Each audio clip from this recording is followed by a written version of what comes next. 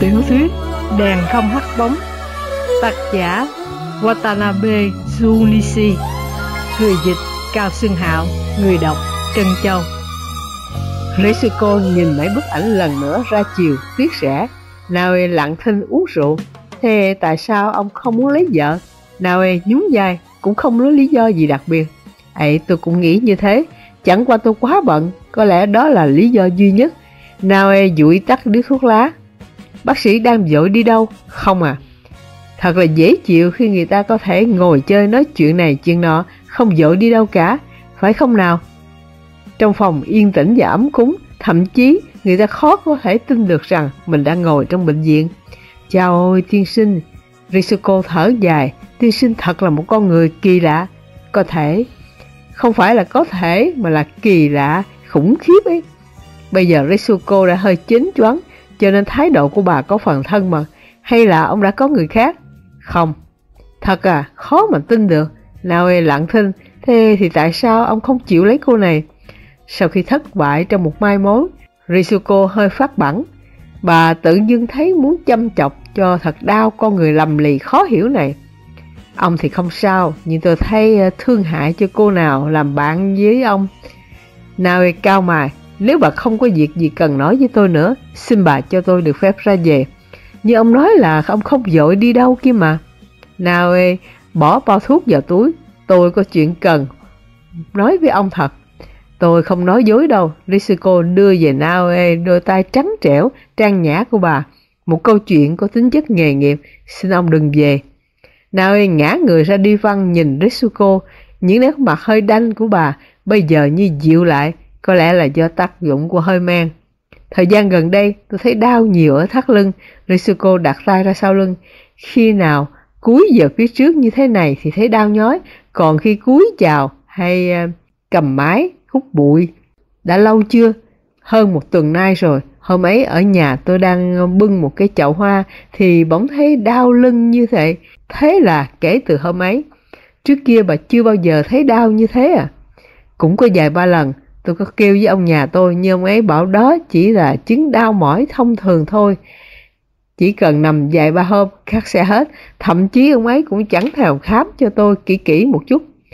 tay vẫn cầm cốc rượu, Naoe nhìn hình dáng Risuko, hơi mập một chút, nhưng vai và ngực hãy còn đẹp lắm, cái thân hình hơi chảy một chút, tương phản hoàn toàn với cái thân hình thon nhỏ của cô con gái, thậm chí còn làm cho Risuko có một vẻ duyên dáng riêng. Nhưng đã một tuần rồi mà tôi chẳng thấy đỡ một tí nào. Ngón chân có bị tê không? Thế là thế nào? Risuko ngạc nhiên nhìn Naoe. Bà có khi nào có cảm giác như mấy ngón chân bà là của ai ấy, hay khi sờ thì thấy như sờ qua một lớp giấy. Nói chung thì hình như cũng có. Như thế để kiểm tra lại, Risuko đưa mấy đầu ngón tay chạm thử vào chân. Có bao giờ thấy giật ở bắp chân không? Cũng đôi khi, nhất là ở bên trái. Naoe uống hết cốc whisky và khoanh tay trên ngực. Tôi có uống alinamin và mấy viên thuốc gì đó nhưng chẳng ăn thua gì. Làm sao có thể ăn thua gì được? Ở đây các thứ thuốc men đều vô hiệu. Thật hư, Risuko thốt lên. Quá tình chưa chụp phim thì tôi chưa có thể khẳng định được mà tôi cũng chưa có dịp khám bà. Như theo ông thì tôi bị bệnh gì? Ý nghĩ đầu tiên đến với tôi là bệnh thoát vị xương sống. Thoát vị là như thế nào? Các đốt xương sống bị xê dịch và đè lên các dây thần kinh. Bệnh này chữa được chứ? Dĩ nhiên. Thế ông khuyên tôi nên thế nào? Nếu đây chỉ là lệnh lumbago, thì ít lâu sau sẽ tự khắc sẽ hết đau. Chỉ cần khi ngủ, co hai đầu gối lên gần ngực. Còn nếu đe dây thần kinh bị nén, nhưng ít thôi thì có thể dùng cọt xê. Chỉ khi nào cảm giác đau dội xuống bắp chân thì mới cần can thiệp bằng phẫu thuật. Mổ à, mặt Risuko biến sắc đi, không có gì đáng sợ đâu. Chỉ là một phẫu thuật đơn giản. Không, tôi sợ lắm. Còn nói chung thì tôi không thể nói gì quá quyết chừng nào tôi chưa khám bà.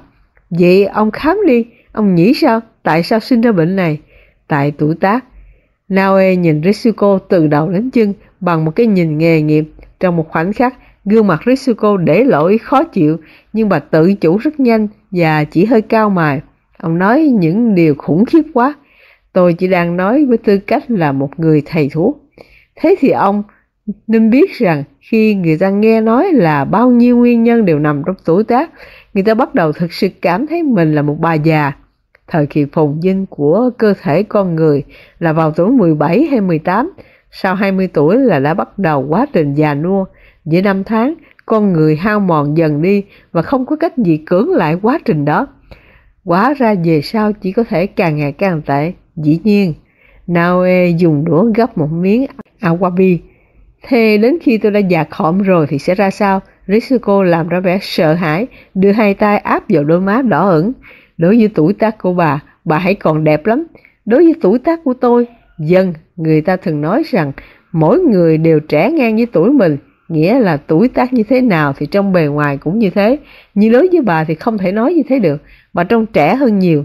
Xin đa tạ, Risco trang trọng cúi đầu như trên sân khấu. Vào tuổi à, uh, 20, rất nhiều người đẹp. Về phương diện sinh học, tuổi này thuận lợi nhất, cho nên đẹp vào tuổi 20 là lẽ tự nhiên.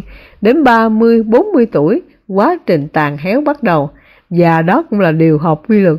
Khen ngợi cái gì đúng lẽ tự nhiên, thử hỏi có ý nghĩa gì? Risiko chăm chú lắng nghe, nhưng nếu một người đàn bà đến tuổi 30, tuổi 40 mà vẫn trẻ đẹp thì đó là điều phi thường. Còn đến tuổi 50 mà người đó vẫn còn đẹp thì đó là điều đáng kinh ngạc. Lúc bấy giờ, người ấy mới thực sự đáng ca ngợi. Ông muốn nói rằng tôi là người phi thường ư? Dân, và là người vượt ra ngoài lẽ thường. Tôi không tài nào hiểu được là nên mừng hay nên khóc trước những lời khen của ông. Rõ ràng Ritsuko lần đầu tiên được nghe người ta nói về mình như vậy. Bà đã quá quen được ngưỡng mộ, đẹp quá chừng, sao trẻ thế. Còn Naoe thì rất xa với sự tán tụng. Naoe nhìn bà bằng con mắt tỉnh táo của một người thầy thuốc, cảm thụ về con người như về một bộ máy sinh học. Và chính điều đó đã pha thêm vào lời khen của ông cái dư vị bất mãn ngấm ngầm ấy. Risuko lại rót whisky cho Naoe. Xin cảm ơn bà, hôm nay như thế là đủ. Không không, ông đã nói là hôm nay ông không bận kia mà. Có lẽ không tiện lắm, ở đây trong bệnh viện thì có sao đâu. Thật tình tôi rất thích tính thỉnh thoảng được nói chuyện với các bác sĩ của viện ta. Chẳng ai giống ai cả. Thề à, đúng thế, tôi cũng đã mong được nói chuyện với ông từ lâu. Nhưng ông là người danh tiếng thế kia cho nên tôi không dám. Nào châm chăm thuốc lá hút, chắc uống rượu ở một chỗ khác ông sẽ thích hơn. Mexico ngước mắt lên nhìn Naue. Có lẽ thế, À, ít nhất ông cũng thẳng thắn đấy. Mexico nói, rõ ràng là lòng tự ái bị tổn thương và nóc cạn chén rượu một cách gần như tuyệt vọng. Thế ông thích giải trí ở nơi nào hơn? Ồ, ở rất nhiều nơi khác nhau. Chắc hẳn ở những nơi nào có đàn bà đẹp. Có họ thì tốt hơn là không có họ. Naoe gãy tàn thuốc. Ông cho tôi đi theo với. Mexico yêu cầu, một lần thôi cũng được. Tại sao bà lại không đi với chồng bà? Ông ấy không chịu đem tôi đi theo. Tôi hoàn toàn thông cảm với ông nhà. Nữ sư cô phẫn quất nhìn Naoe. Naoe khuấy cho tan mấy viên đá trong cốc rồi dốc cạn. Hai người im lặng một lát và lúc bấy giờ mới bật lên một sự tĩnh mịch nặng nề, rất không quen thuộc đối với bệnh viện. Chỉ được điểm xuyết bằng tiếng nước chảy róc rách khe khẽ trong các đường ống. Hồi lâu Risuko mới lên tiếng, dường như để phá tan cõi im lặng vang dội này. Ông rất tàn nhẫn đối với tôi, Tôi làm mối cho ông, ông cũng khuất từ. Phải. Rõ ràng là một người đàn bà về già thì đến nỗi cái việc làm mai cho người ta cũng không xong. Bà buông một tiếng thở dài náo nộ. À, nhân tiện cũng xin hỏi, tiên sinh có biết ai hợp với con Mikiko nhà tôi không? Naoe lẩm bẩm cái gì không rõ. Nó đã 23 rồi, mà hoàn toàn không quan tâm gì đến những chuyện này. Có thể ông có quen một thanh niên nào khá ở trường đại học chăng? tôi hầu như không hề giao thiệp với giới thanh niên. Thằng con trai của tôi một mực không chịu học y, nó đi học kinh tế, thế mà chúng tôi lại cần có một bác sĩ nữa trong gia đình. Cho nên, việc lựa chọn gì hôn phu cho Mikiko bị hạn chế rất nhiều.